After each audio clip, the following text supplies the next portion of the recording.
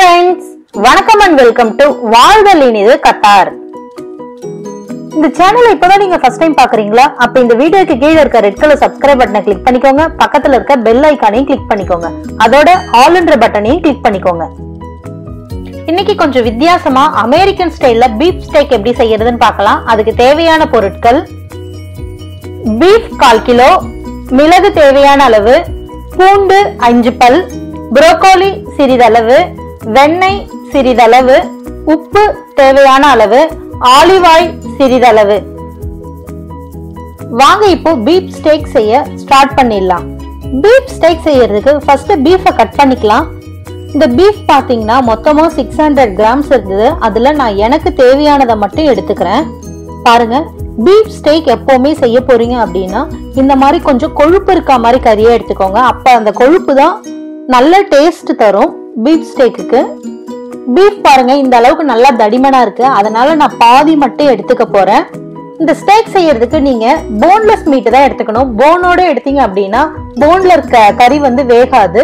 அதனால boneless meet எடுத்துக்கோங்க. நான் கறியை ஹாஃபா கட் பண்ணிட்டு சைட்ல எடுத்து வச்சுட்டேன். அடுத்து என்ன பண்ணலாம் பார்க்கலாம் வாங்க. இந்த அளவுக்கு நல்லா திக்னஸ் இருக்க மாதிரி எடுத்துக்கோங்க. ஒரு ஒரு இன்ச் திக்னஸ் ஆவது இருக்கணும். அப்பதான் இதுல இருக்க வாட்டர் வந்து வெளியில வராம நல்லா வேகும் நல்லாவும் இருக்கும். இப்போ நான் எடுத்து வச்சிருக்க பூண்டை லைட்டா தட்டி சேர்த்துக்கிறேன். இந்த மாதிரி சேர்த்தீங்கன்னா சீக்கிரம் பூண்டு வெந்துடும். இல்ல நீங்க தட்டாம முழு பூண்டா கூட சேர்த்துக்கலாம். அதோட தோல் எடுக்கணும்ன்றது தேவையில்ல. பூண்டு இதுல சேர்த்தீங்கன்னா ரொம்ப டேஸ்டா இருக்கும். அடுத்ததா நான் எடுத்து வச்சிருக்க ப்ரொக்கோலி எல்லாம் கட் பண்ணி எடுத்து வச்சுக்கிறேன். இந்த மாதிரி சின்ன சின்னதா ப்ரொக்கோலியை கட் பண்ணி எடுத்து வச்சுட்டு க்ளீன் பண்ணி வச்சுக்கலாம். ஹாட் வாட்டர்ல போடணும் அப்படின்னு தேவையில்லை. கோல்டு வாட்டர்ல ஒரு மூணு இல்ல நாலு டைம் வாஷ் பண்ணி வச்சுக்கோங்க. அதுவே போதும். இப்போ ப்ரொக்கோலியையும் நல்லா வாஷ் பண்ணி எடுத்து வச்சுக்கலாம். நல்லா வாஷ் பண்ணிடுங்க. ஒரு மூணுல நாலு டைம் தண்ணி மாத்தி நல்லா வாஷ் பண்ணிடுங்க.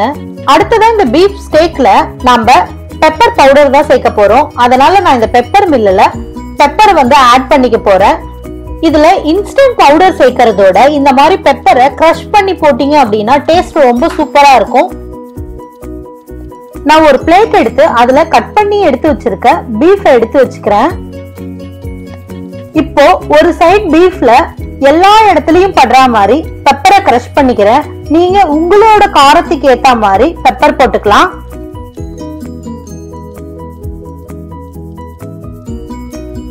இந்த மாதிரி ஓரளவுக்கு எல்லா இடத்துலயும் படுற மாதிரி பெப்பரை தூவிட்டு அதுல கொஞ்சமா உப்பு சேர்த்துக்கிறேன். உப்பு சேர்த்துட்டு கையால நல்லா இந்த எல்லா இடத்துலயும் படுற மாதிரி நம்ம தடவி விட்டுடலாம் கொழுப்புலயுமே படுற மாதிரி நல்லா தடவி விட்டுடுங்க.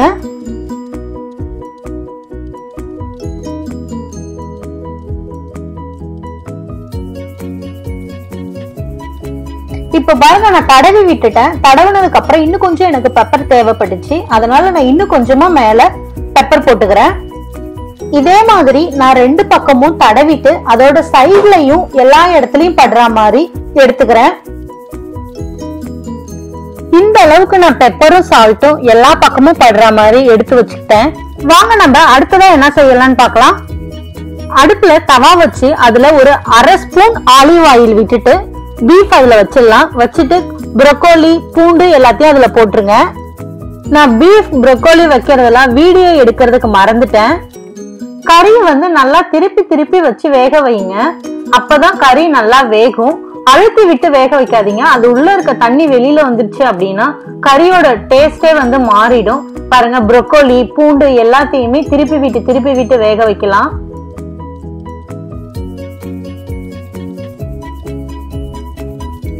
இந்த மாதிரி அடிக்கடி திருப்பி விடுங்க. அப்பதான் நல்லா வேகும். இந்த டைம்ல நான் கொஞ்சமா பட்டர் சேர்த்துக்கிறேன். எல்லா இடத்துலயும் படுற மாதிரி பட்டரை தேய்ச்சி விட்டுருங்க. அப்போதான் அந்த பட்டரோட டேஸ்ட் ப்ரோக்கோலி பூண்டு கறி எல்லாத்துலயுமே வரும். பட்டர்ல வதக்குற மாதிரி எல்லா இடத்துலயுமே கறி ப்ரொக்கோலி பூண்டு எல்லாத்தையுமே நல்லா கலந்து விட்டுடுங்க. அப்ப டேஸ்ட் ரொம்ப சூப்பரா இருக்கும். இந்த பீஃப்ல ப்ரொக்கோலி சேர்க்கறது ஆப்ஷனல் தான். சேர்த்தீங்கன்னா ரொம்ப நல்லா இருக்கும் அப்படி உங்களுக்கு கிடைக்கல அப்படின்னா சேர்க்க தேவையில்ல. பூண்டு மட்டும் சேர்த்துக்கோங்க. ரொம்ப சூப்பராகவே இருக்கும். பீஃபை எல்லாருமே சேர்த்துக்கோங்க. பீஃப் சாப்பிட்றதுனால எதுவும் ஆயிட போறது இல்ல ஏன்னா பீஃப் தான் உலகத்திலே மூணாவது கன்சியூம் பண்ற மீட்டா இருக்கு. ஸோ அந்த அளவுக்கு பீஃப் வந்து எல்லாருமே சாப்பிட்றாங்க. பீஃப்ல பாத்தீங்கன்னா அதிகமா புரோட்டீன் இருக்கு. வாட்டர் கண்டென்ட் இருக்கு. அது மட்டும் இல்லாம அயன் பி டுவெல் அந்த மாதிரி நிறைய மினரல்ஸ் வந்து பீஃப்ல இருக்கு. அதனால பீஃப் எடுத்துக்கோங்க. கறி கொஞ்சம் தடிமனா இருக்கிறதுனால எல்லா சைட்ஸ்லயுமே வேக வச்சுக்கோங்க. இதே மாதிரி நிக்க வச்சு அப்பப்போ வேக வைங்க. அப்போதான் சைட்லயும் நல்லா வேகும். கொழுப்பு இருக்க பக்கமும் நல்லா வேக வைங்க. அப்பதான் கொழுப்பு கரைஞ்சி எண்ணெயாகி அந்த கொழுப்புல ப்ரொக்கோலி பூண்டு கறி எல்லாம் வெந்துச்சுன்னா ரொம்ப சூப்பரா இருக்கும் அதோட டேஸ்ட்டு இந்த ஸ்டேக் பார்த்தீங்கன்னா நிறைய பொருள் வச்சு கறி செய்யாம வெறுமனே மிளகையும் உப்பையும் மட்டும்தான் வச்சு இதை செய்யறோம். அதனால இதோட டேஸ்ட் ரொம்ப சூப்பரா இருக்கும். இந்த அளவுக்கு தடிமன் இருக்க பீஃப் எடுத்தீங்கன்னா இது வேகறதுக்கு ஒரு பத்துல இருந்து பதினஞ்சு நிமிஷம் ஆகும். பொறுமையா எல்லா பக்கமும் படுற மாதிரி நல்லா வேக வைங்க. அப்பதான் இது நல்லா இருக்கும். அதே மாதிரி இந்த ஸ்டேக் பாத்தீங்கன்னா சூடா சாப்பிடணும். அப்பதான் நல்லா இருக்கும் இல்லனா ஒரு மாதிரி ட்ரை ஆயிடும். அதனால எப்பவுமே சூடா செஞ்சு அப்பவே சாப்பிடுங்க. என்னோட ஹஸ்பண்ட் அமெரிக்கா போயிருக்கும் போது ஒரு ரெஸ்டாரண்ட்ல டேபிளுக்கு முன்னாடி எல்லாரையும் உட்கார வச்சுட்டு டேபிள்ல ஃபயர் வச்சு இந்த மாதிரி ஸ்டேக் செஞ்சு கொடுத்தாங்களாம். சாப்பிட்றதுக்கு ரொம்ப சூப்பரா இருக்கு அப்படின்னு சொன்னாரு. இது கூட வந்து ஏதாவது ட்ரிங்க்ஸ் ஹாட் ட்ரிங்க்ஸ் பியர் இந்த மாதிரி சர்வ் பண்ணுவாங்களாம். சாப்பிட்றதுக்கு ரொம்ப நல்லா ருசியா இருந்துச்சுன்னு சொன்னாரு. இப்ப பாருங்க பீஃப் நல்லா வெந்துடுச்சு. கூட ப்ரொக்கோலி பூண்டு எல்லாமே நல்லா வெந்துடுச்சு.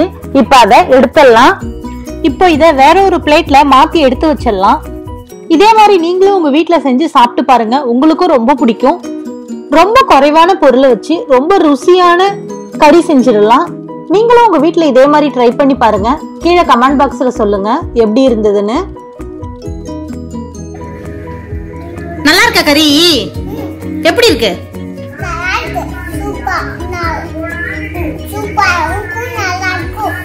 உனக்கு பிடிச்சிருக்கா பிடிக்கலையா?